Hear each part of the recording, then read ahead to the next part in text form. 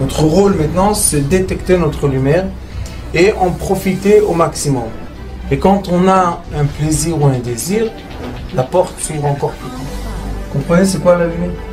Lumière, amour. C'est pas important qui tu es, où tu es, comment tu es. Dieu t'aime.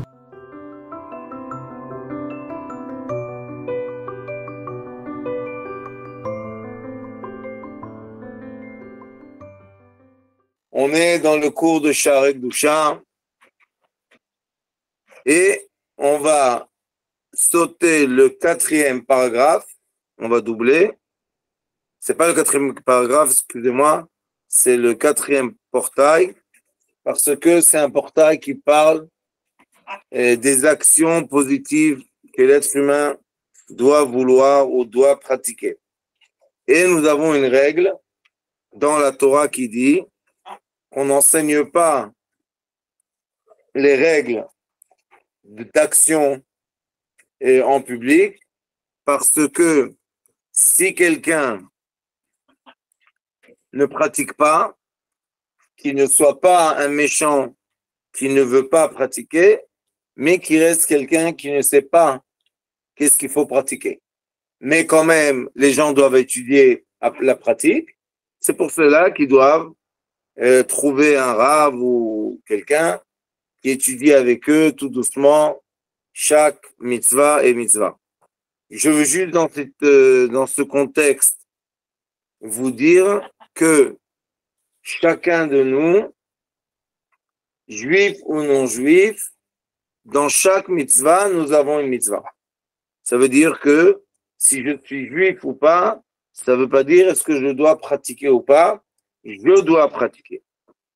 Alors, euh, on va laisser ça comme ça et on ne donne pas, nous, on ne donne pas de cours de d'action, de, de, mitzvot euh, en public.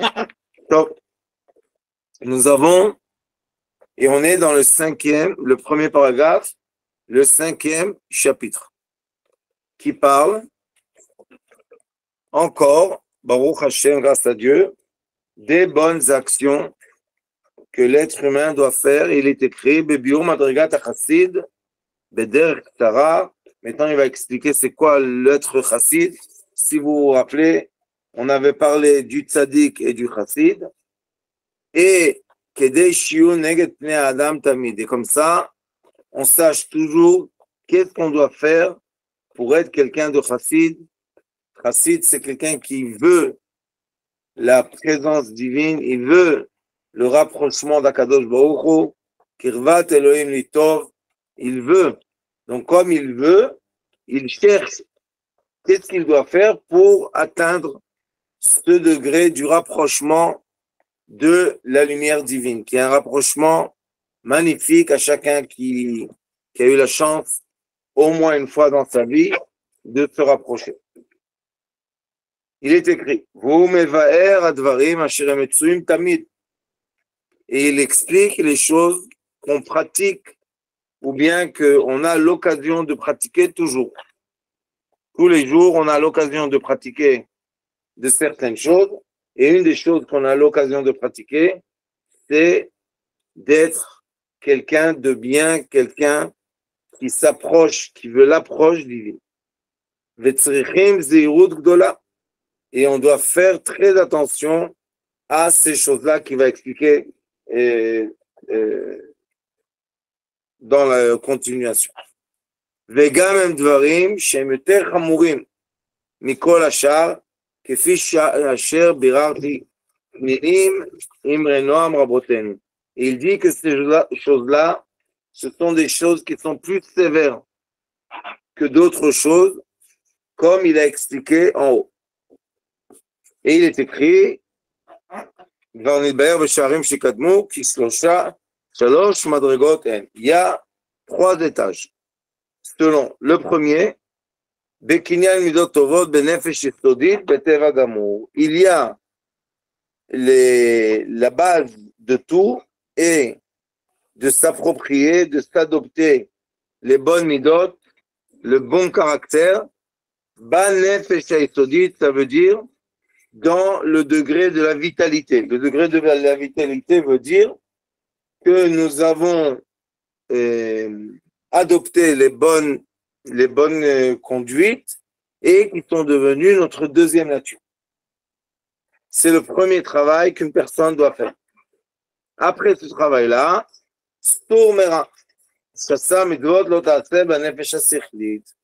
nous avons dans la Torah des mitzvot qu'on doit pratiquer, des actions, et nous avons des mitzvot qu'on doit éviter.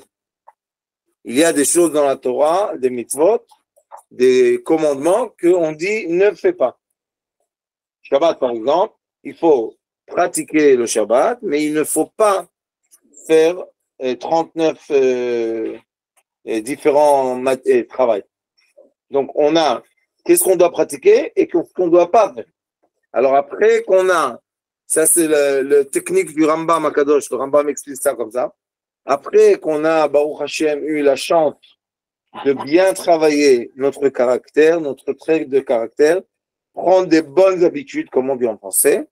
Après cela, le deuxième chose qu'on doit faire quand on veut se rapprocher de Hachem, c'est arrêter de faire ce qui est interdit.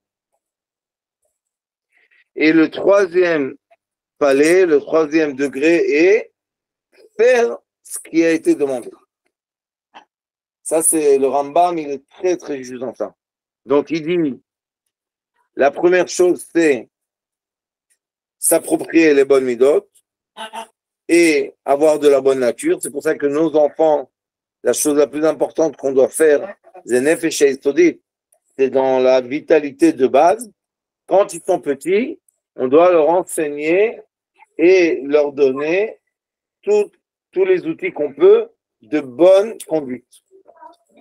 Parce que si un enfant, il grandit et il n'est pas bien éduqué, ne pas être bien éduqué, c'est souffrir. Donc les parents qui, qui laissent leurs enfants dans la nature comme ça, ils ne les éduquent pas. En effet, à la fin, les enfants vont souffrir. Donc on doit faire attention à l'éducation de nos enfants et de nous-mêmes. Et même si quelqu'un un jour, à l'âge qu'il se réveille, il dit, je veux faire tout va, je veux me réveiller, alors on lui dit, il n'y a pas de problème. La première des choses, on étudie avec lui la conduite. Ne pas dire la chanara, ne pas mentir, ne pas vexer, ne pas penser négativement, tout ce qui est les habitudes et les comportements. on appelle aussi les caractères. Après qu'on a bien travaillé le caractère, maintenant on doit éviter ce qui est interdit. Pourquoi on doit éviter ce qui est interdit? Parce que l'interdit est une sphère. Le permis est une sphère. L'interdit, c'est la sphère du mal. Le permis, c'est la sphère du bien.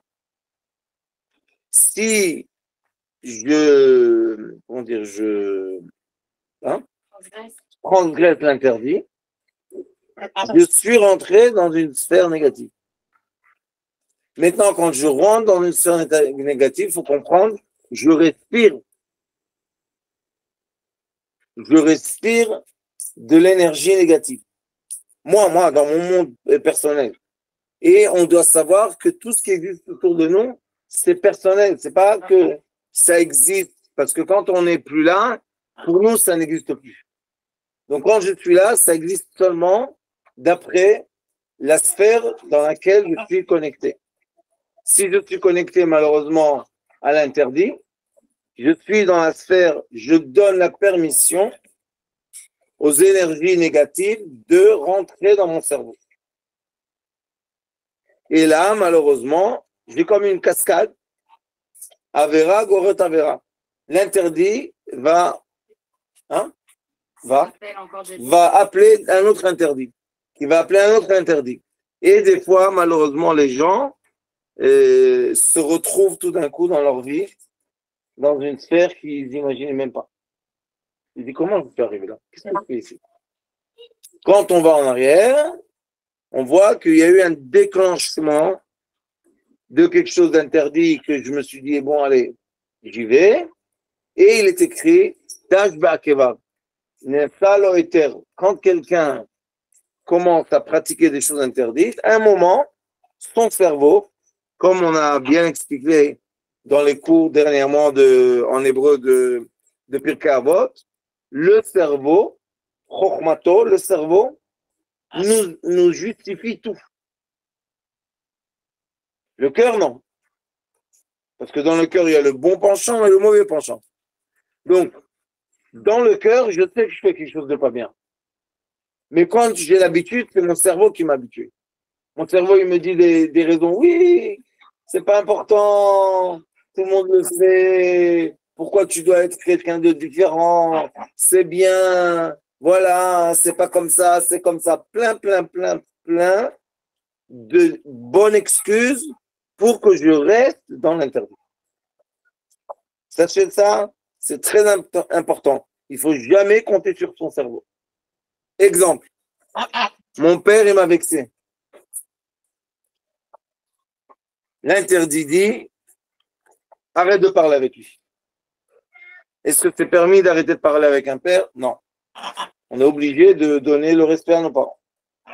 Il te dit, ne parle plus avec lui. Ton cœur, au début, il te torture. Non, le pauvre, il n'a pas fait exprès. Mais le cerveau, qu'est-ce qu'il dit Mais tu as oublié, depuis que tu es petit, il te peut comme ça, il te monte la tête, et un jour tu te dis, logiquement, ça me fait du mal de parler avec lui, j'étais chez le psy, le psy m'a dit, vous allez avoir toute une cascade de bonnes excuses. Mais à la fin, de toutes les bonnes excuses du monde, nous avons un père et un enfant qui se sont séparés, qui est interdit. Cette séparation est interdite. Il faut rester toujours en bon, contact avec les parents. Oui, les parents, ils nous disent des choses qui nous vexent des fois. Oui, et alors? Oui, les parents, des fois, sont maladroits. Et nous, on n'est pas maladroits. Qu'est-ce qu'il y a? Pourquoi on a jugé? Parce que notre cerveau justifie le mal, comme il justifie le bien. C'est ça le problème du cerveau. Il faut faire très attention avec lui. Le cerveau, il faut faire très attention. Pourquoi? Parce que c'est, il justifie tout. Lui, lui, il justifie. C'est ce qu'il fait, c'est ce qu'il veut faire.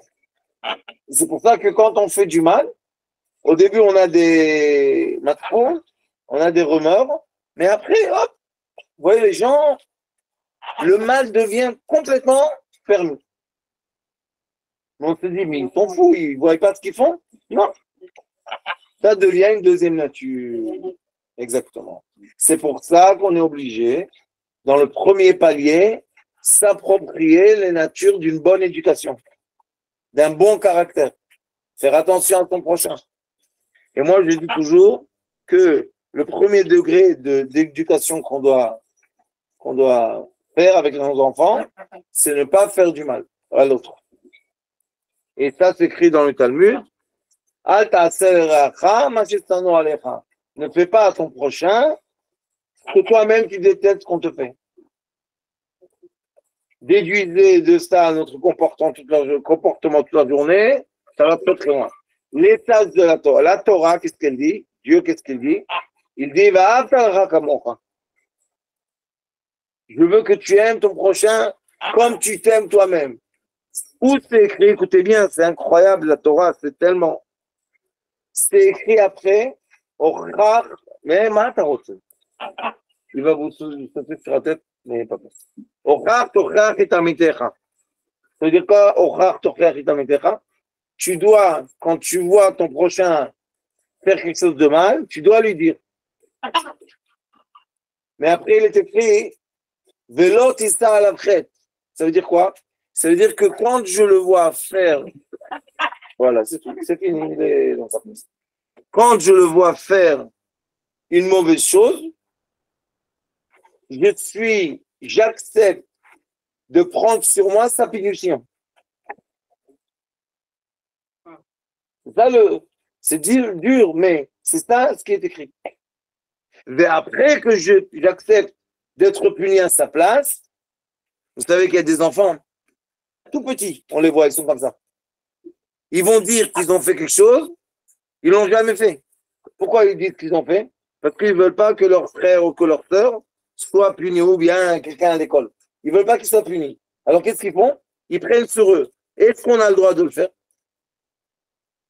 Question. D'après la Torah, c'est un très haut, très haut degré.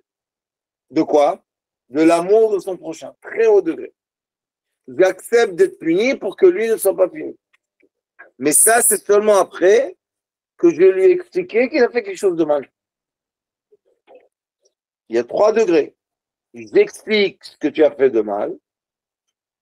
Pour que toi, tu tombes pas, que le mal enclenche le mal, enclenche le mal comme une cascade, qu'est-ce que je fais?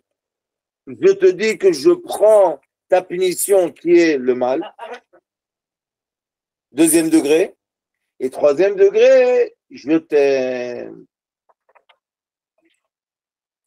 Parce que si j'ai pris la punition sur moi, c'est signe que je t'aime. Mais si je ne pas d'être puni à ta place, alors c'est quoi hein? Je te dis, ah, ne fais pas ça, ne fais pas ça, ne fais pas ça, et à la fin, ben voilà, je t'enfonce dans la terre. Mais si j'accepte de prendre la punition à ta place, ça veut dire que je t'aime vraiment, comme les parents. Les parents, beaucoup de fois, on voit qu'ils prennent sur eux. Il y a une limite à ça aussi, qu'il faut faire attention. Je ne peux pas donner ma vie à la place de ta vie. Donc, il faut faire attention. Il y a des gens qui vont trop loin dans ça. Ça aussi, c'est interdit. C'est pour ça que la Torah nous donne les mesures. Jusqu'où j'ai le droit d'être puni à la place de mon prochain? Jusqu'où je dois aimer mon prochain? Parce qu'il y a de l'amour qui est toxique, qui est dangereux, qui est pas bien. Il y a des parents et des enfants que des fois, on doit leur dire, ça suffit séparez-vous, il y a trop, trop de toxiques. Il faut laisser le temps de séparation. Des fois, on veut que les parents et les enfants soient ensemble. Mais des fois, c'est impossible. Qu'est-ce qu'on peut faire C'est Donc, il dit ici, le troisième degré, le troisième degré est les cahiers mitzvatase. Je dois chercher moi-même, chacun de nous, comment je peux pratiquer la volonté divine parce qu'elle la pratique. Alors il dit,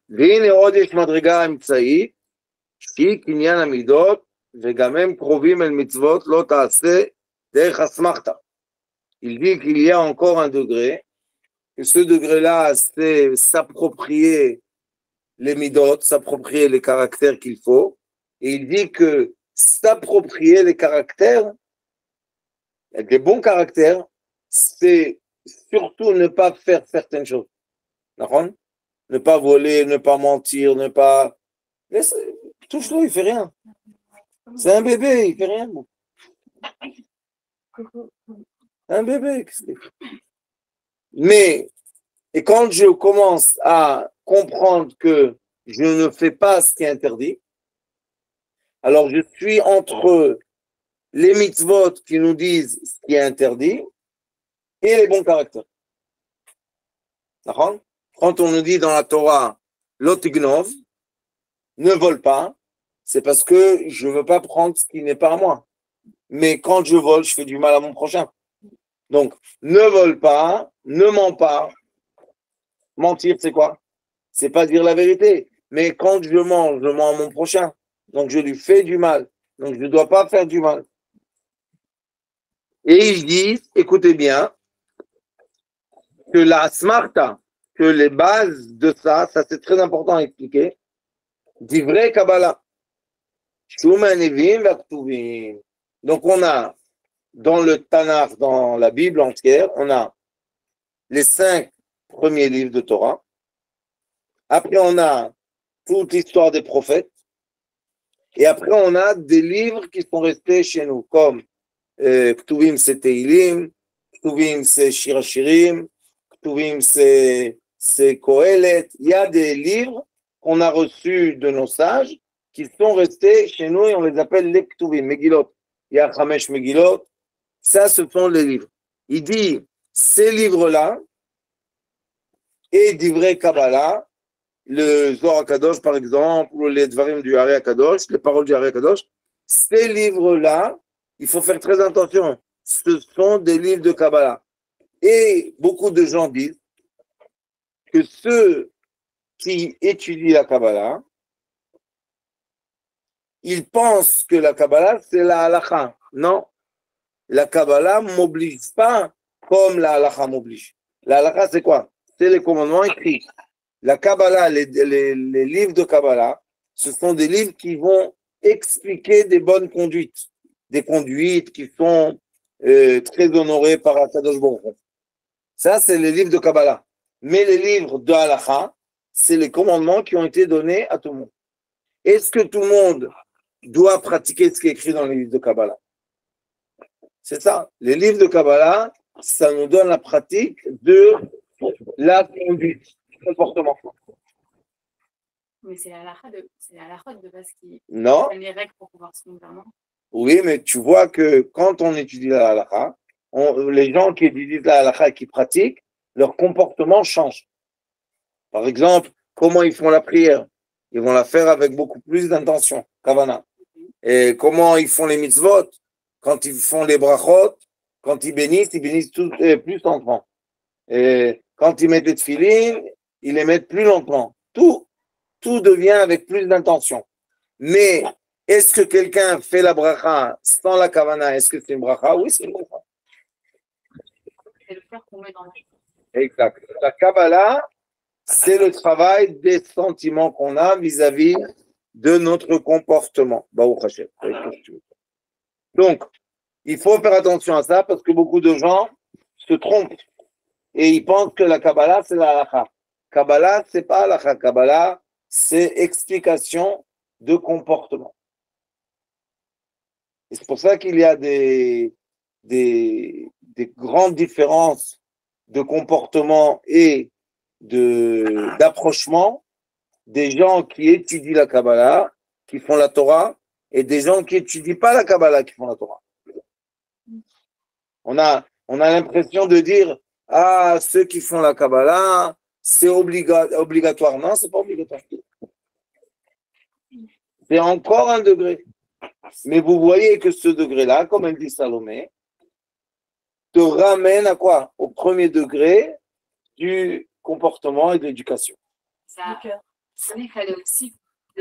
Dans oui, mais tu vois que. Oui, mais vous, vous voyez que c'est comme un, comme le monde, il est, c'est une sphère.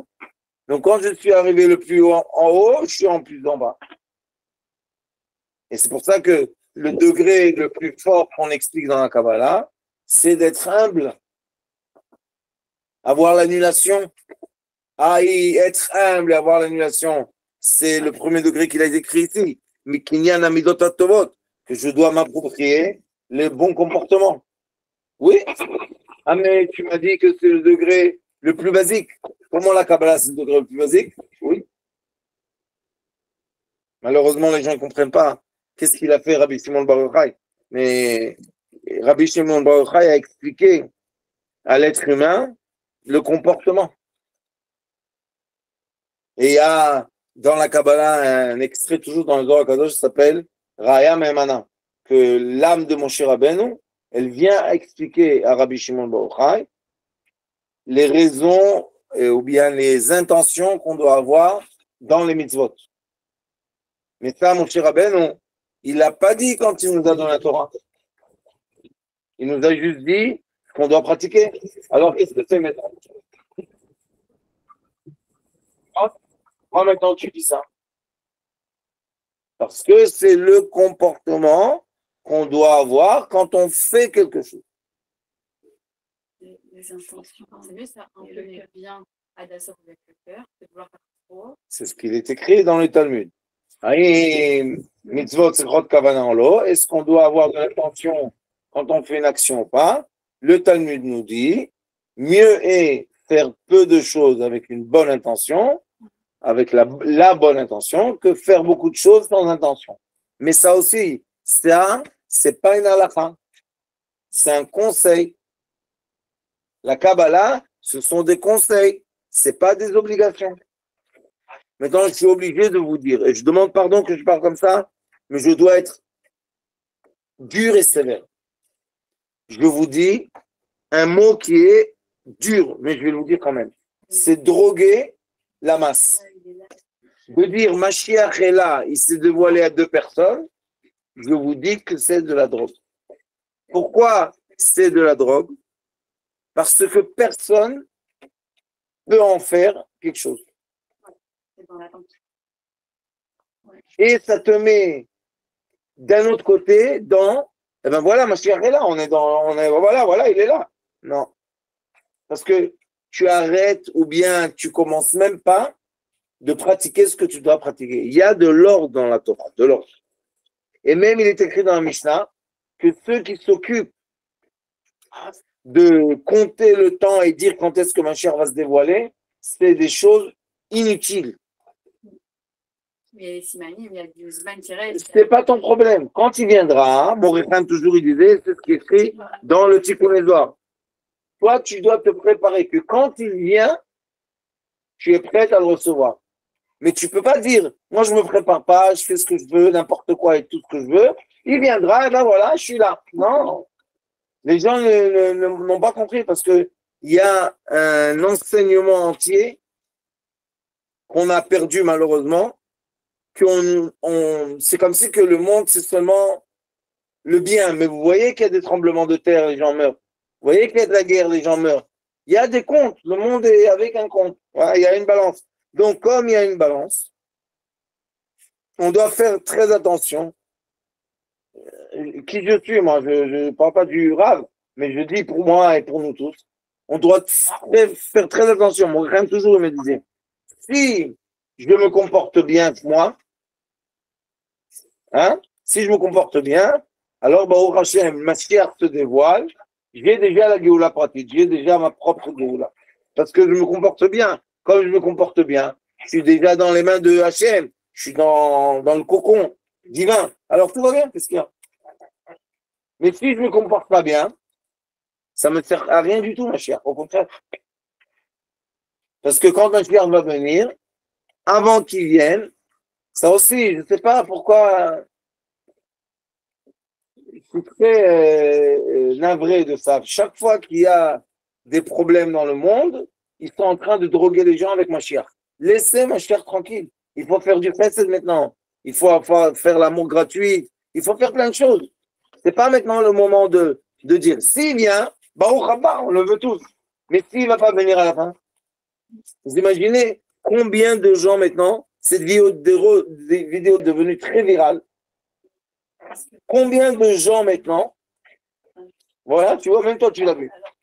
Combien de gens maintenant dans le monde ont entendu un rave, qui est un rave important, qui dit, voilà, j'ai entendu de ma propre voix, de mon propre ami, qui est là-bas à Liquide, que ce rabbin a dit que mon cher déjà est là, il s'est dévoilé à deux personnes.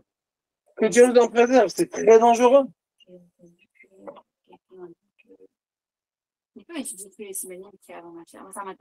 Oui, mais tu sais quoi, les simanim Les, les midot, qu'est-ce qui est interdit, qu'est-ce qui est permis? Ça, les simanim. Qu'est-ce qu'on va lui dire? Ah, tu sais, il y aura ça, il y aura ça. Vous comprenez que après, quand il ne se dévoile pas, parce qu'on ne sait pas qui est le Mashiach. C'est ça l'histoire. On ne sait pas, c'est pas nous. Et il doit parler 70 langues, et il doit ça et ça. Plein de choses. Vous savez, une fois, j'étais avec Dr. Rimer, et j'ai étudié, on a étudié une grande, grande sagesse de lumière. Mais vraiment, on était. On, presque on n'est plus dans ce monde, tellement on est heureux. J'ai dit, docteur Rimer, tu t'imagines? Machiach, pour lui, ce qu'on étudie, c'est. Je t'imagine qui il sera? Il va connaître toutes les sciences, toutes les langues, tous les degrés d'être humain. Il va parler avec chacun son degré. Un enfant, un enfant, un, un, adolescent, un adolescent, un adulte, un adulte, quelque chose. Il va parler avec tout le monde. Il va faire la paix dans le monde. Oui, ce personnage, dis-toi. De quoi on parle? De quoi on parle? Oui, il est ce personnage. Il fait la paix dans le monde autour de lui. Oui, il est, monsieur.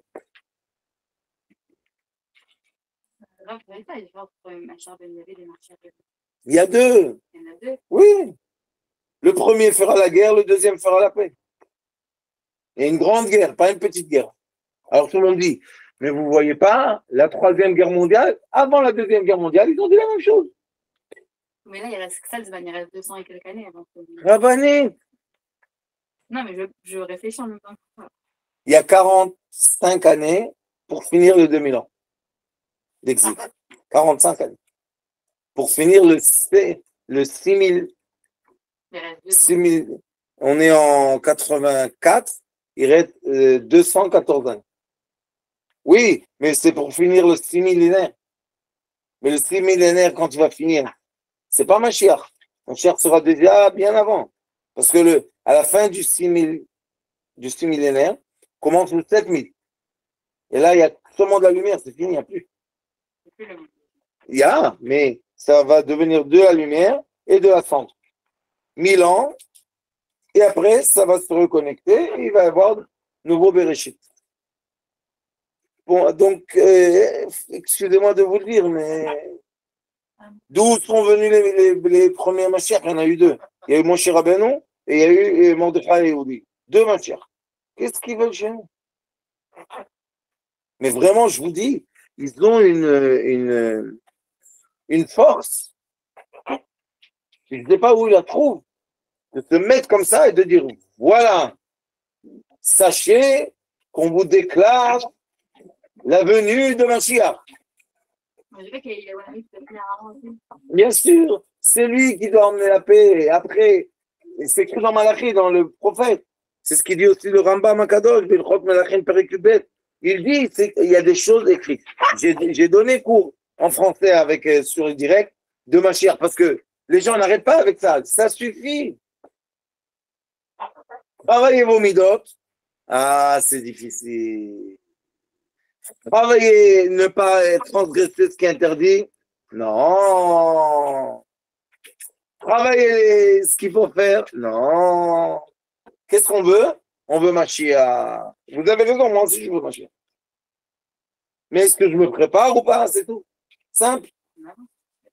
Il n'y a pas de problème, ma fille. Moi, je, je- vous connaissez, je vous aime et je suis prêt à prendre sur moi. Je prends. Mais il faut arrêter. Écoutez-moi, s'il vous plaît. C'est de la drogue. C'est dangereux. Ça masque. Ça masque la personne comme de la drogue. Ça masque. La, perso- la personne re- reçoit un voile en face d'elle de dire Ouais, ça y est, on est à la fin.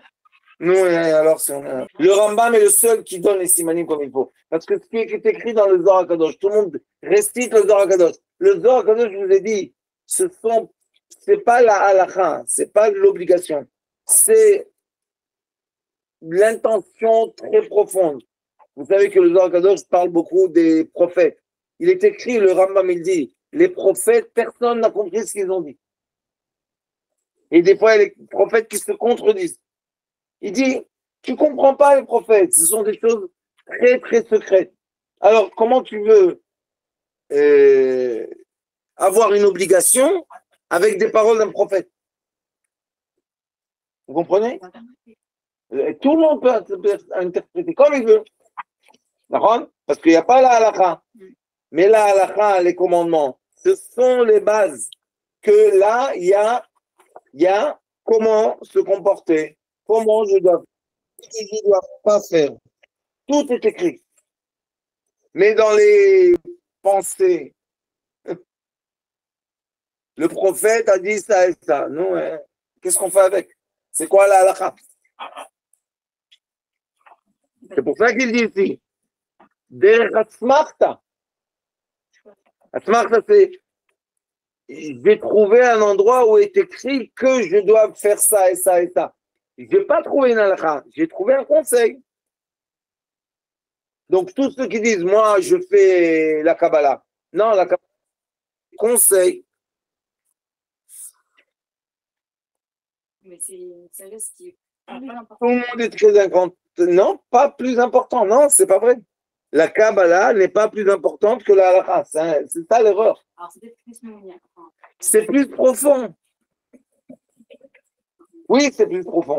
Mais est-ce qu'on doit se baser sur la profondeur des choses qu'on ne comprend pas, ou bien on doit se baser sur la halakha, sur les commandements que on comprend? Quelle est la base de la vie? Est-ce que je dois me baser, ce que je te dis, avec les mauvaises habitudes que j'ai, qui sont devenues pour moi une évidence et une deuxième nature, ou bien je dois continuer à entendre ma grand-mère et ma mère me donner la moralité. Qu'est-ce que je dois faire dans la vie? Entendre les vraies choses. Alors avec l'aide de Dieu, j'espère qu'on a compris les trois degrés qui sont très très importants. Premier degré, le comportement et les midotes. Deuxième degré, ça ce sont des degrés vraiment qu'on doit comme ça éduquer les gens. Deuxième degré, ne transgresse pas ce qui est interdit. Troisième degré, rentre dans le permis. Pourquoi? Parce qu'il est écrit dans le Teilim, il est écrit Sourmerav à cet homme. Renlève-toi du mal, tu seras dans le bien. Enlève-toi du mal, tu es dans le bien. Il n'y a pas de neutre dans ce monde. Il n'y a pas, ah non, moi je suis ni bien, ni. Non, non, non. Tu fais ou des bonnes choses, ou des mauvaises choses. Alors, arrête de faire des mauvaises choses, tu es déjà dans les bonnes choses. D'accord? Mais pour arrêter d'avoir des mauvaises habitudes et des mauvaises choses, c'est le travail de mon cœur. C'est pas le travail de mon cerveau. C'est pas la logique, parce que la logique, elle va accepter tout ce que tu veux. Mais le cœur, qu'est-ce que tu ressens quand tu fais la chose interdite? Si tu sais que tu l'as fait interdite, déjà c'est un bon degré. Mais si tu rien du tout, vraiment, des fois, on fait des choses, on ne ressent rien, comme par exemple notre génération, quand on parle de mal des autres. C'est les gens comme ça, facile, tard, tard, bon, bon, bon, trap, trap, trap. Ils tuent les gens sur une table. La peau, la personne arrive comme ça, innocente, et tout le monde la regarde avec un regard de qu'est-ce qu'elle a fait? Elle n'a rien fait. Alors il faut faire très très attention à ces choses-là. Pour faire attention, il faut étudier. Et c'est pour ça que j'ai choisi d'étudier avec vous ce livre de Midot Tovot, de livre de, moralité, de Kabbalah, Sharek Dusha, c'est Rabbi Chaim qui écrit toute la Kabbalah du Yarek Kadosh. Regardez ce qu'il écrit en base, livre de base. Merci beaucoup.